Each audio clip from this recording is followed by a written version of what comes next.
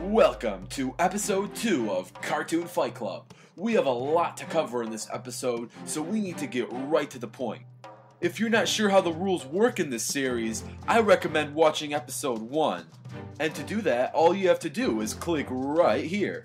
But if you've seen episode 1 and know how the game's played, then it's time we go straight into the specs. Let's meet Cartoon Fight Club's second round of fighters. In today's episode, we have a battle of the buddies Mordecai and Rigby versus Finn and Jake. Since this show is anything but regular, we're going to start off with Mordecai and Rigby. Mordecai, everyone's favorite Blue Jay, works at the park with his best friend Rigby. He is one who loves slacking, video games, and slacking. When it comes to strength, Mordecai is always seen to be much stronger than Rigby. This is notable when the two engage in a game of punchies. However, Mordecai is not as strong as some of the other regular show characters such as Skips and Muscle Man. There is plenty of evidence that show that Mordecai does have above average strength.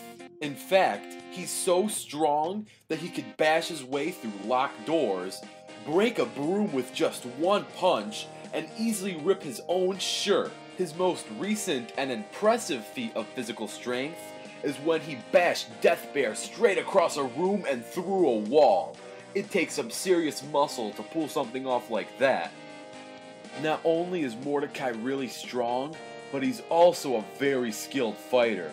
Mordecai has fought and won a lot of fights. He's fought in many different places, such as restaurants, bowling alleys, karaoke nights, and even his own park. He's also very skilled in the powerful martial arts of Death Kwon Do, and he can perform many amazing techniques when wearing the proper attire. But the sad thing is, Mordecai is basically naked most of the time, and he can't perform Death Kwon Do unless he has the correct shorts and hairstyle on. But enough of his nudity. Mordecai is also a very skilled dodgeball player, which proves he has excellent reflexes. He is so good at dodgeball, he easily eliminated most of the Thunder Girls until it was left between him and CJ. Mordecai is also an excellent driver and a quick learner. He quickly learned how to ride a motorcycle from CJ when they were being chased by a bunch of angry demonic parents. And he's also excellent at driving the golf cart. The type of golf cart that Mordecai is used to driving is not your average golf cart. The golf cart at the park can reach speeds up to 90 miles per hour.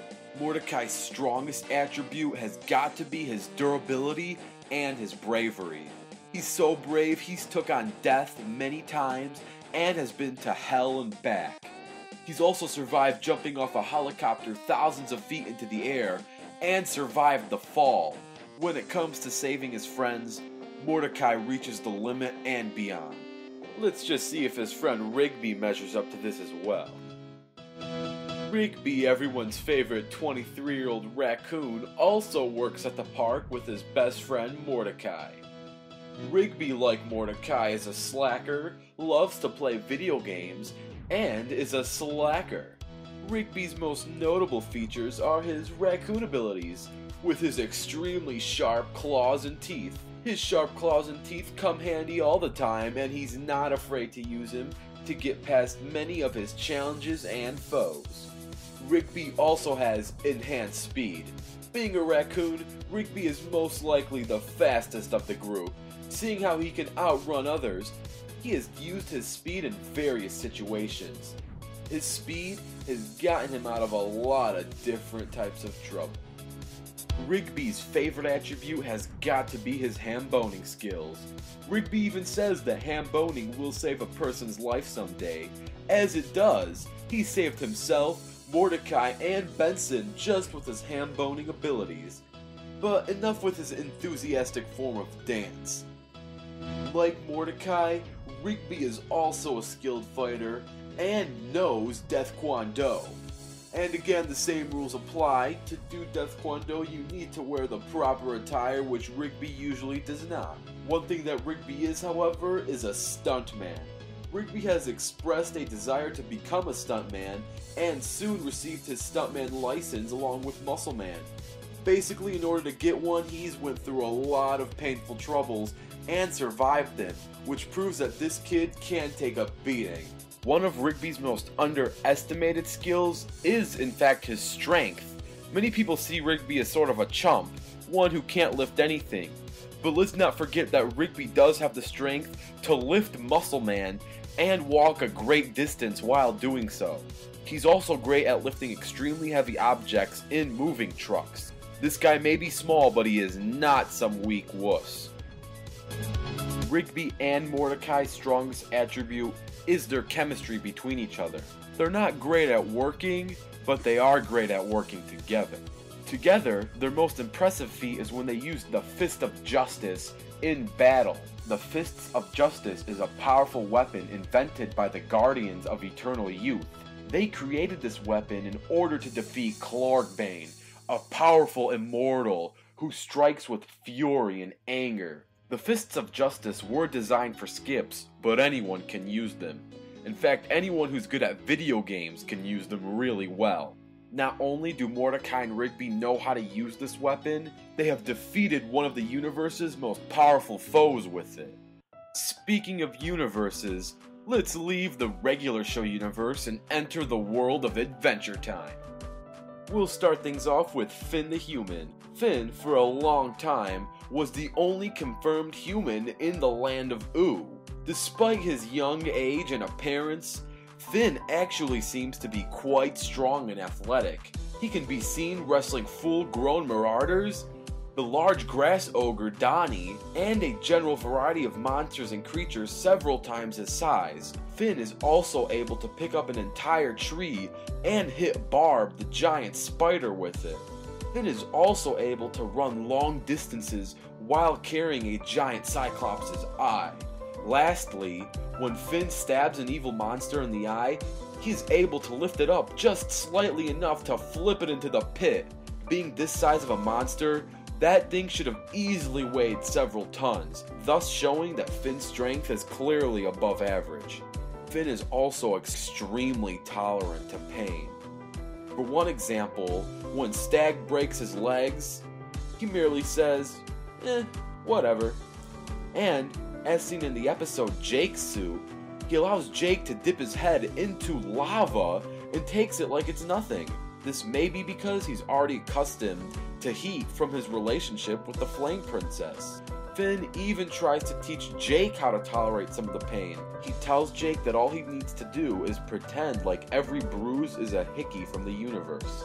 Finn does have one strong weakness though, and that's deuteranopia, dichromatism, that makes green hues appear red or gray as shown in the episode Red Starve.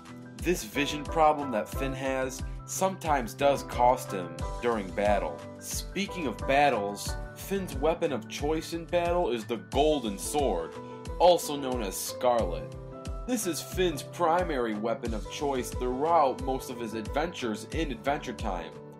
The blade is dented, chipped, and dirty, the hilt is black with some worn leather on the grip, and a red gemstone can be seen in the pommel. The sword may not be the stuff of legends, but it does do its job really well. But enough of Finn. It's time we introduce you to Jake. Jake is Finn's 30 year old best friend who's also a dog.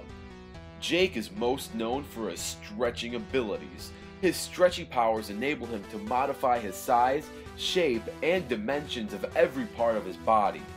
Not only can he stretch and comfort himself to highly specific forms, but he can also rearrange his internal organs and his teeth. He is also able to shrink to extremely small sizes and obviously grow to extremely large ones. One frequent use of his powers is the key hand, which allows him to pick any type of lock. Although he lacks the zeal for fighting that Finn possesses, Jake is a capable fighter. He also lacks Finn's talent for swordsmanship, but he makes that up in brute toughness and magical brawn. He is a solid hand to hand fighter and can transform his limbs into deadly weapons. He can also stretch to just entangle enemies, or grow to gain a weight and height advantage.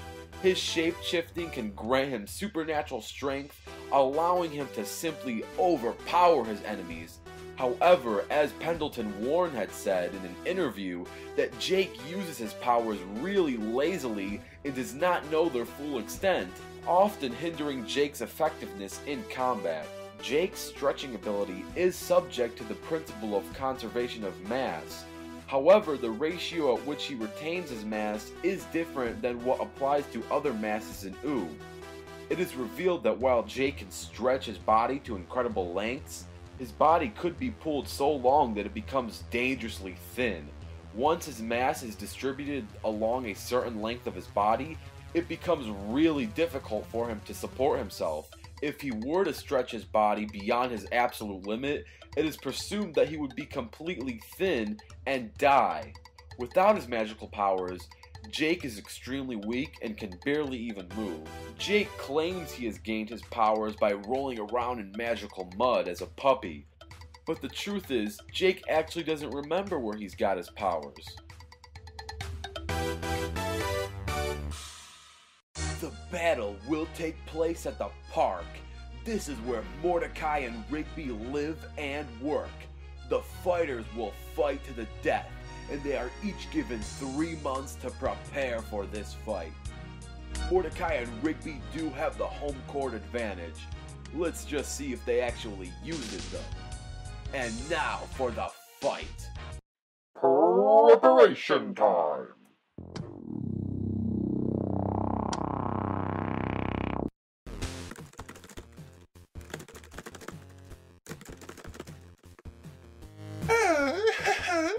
Mordecai, Rigby, you two have letters. Ah. Ah, come on, Pops. I was in my bro zone. Dude, relax. Oh, whatever, man. What do these. What do these even say?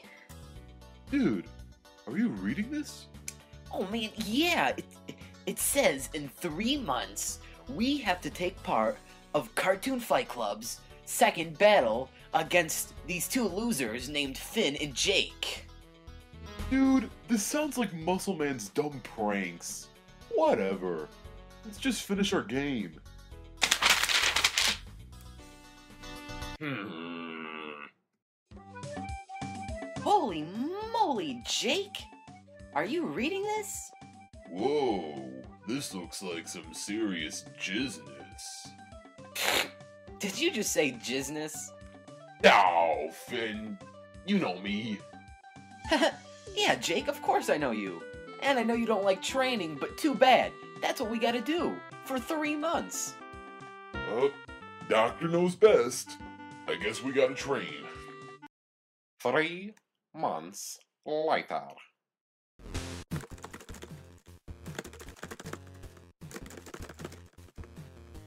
Brr. Mordecai? Rigby?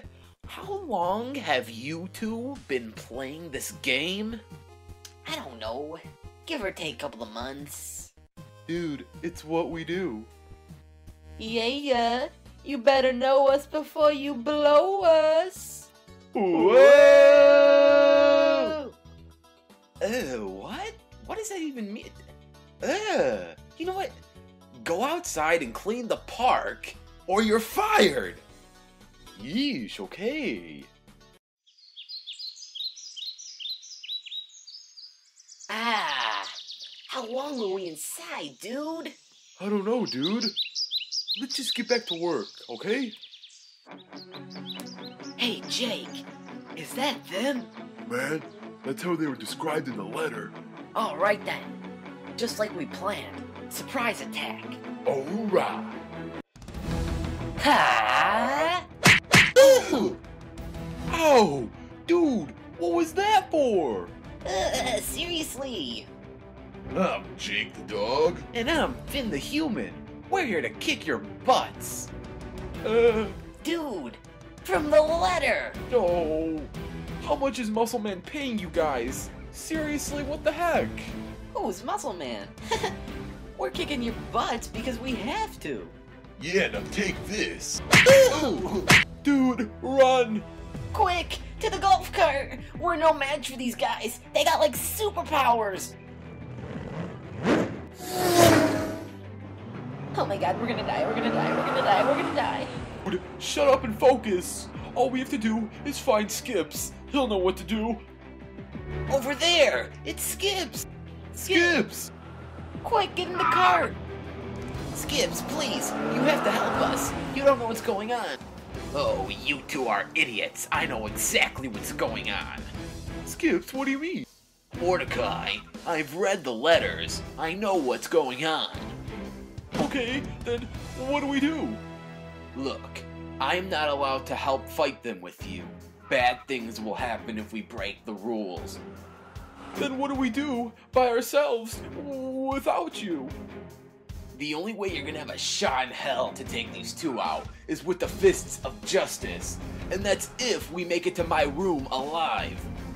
Dude, the fists of justice? I forgot how to use those things. We're gonna need at least a few months of practice with those things. No, no, no. You two have had all the practice in the world. Don't you remember? The Fists of Justice are exactly like playing video games, which you two have been doing for three months straight. Sorry, Mr. Yeti Dude. I've got a blue jay and a raccoon to take out. So if you'll excuse me, let me do my job. Mordecai Rigby, I have to leave. It's up to you now. You know what to do. Whoa, whoa, whoa! Dude, quick, get inside! Jake, should we bash the door open? Nah, Finn. Let's just use my key hand. No need to break someone's door. Whoa!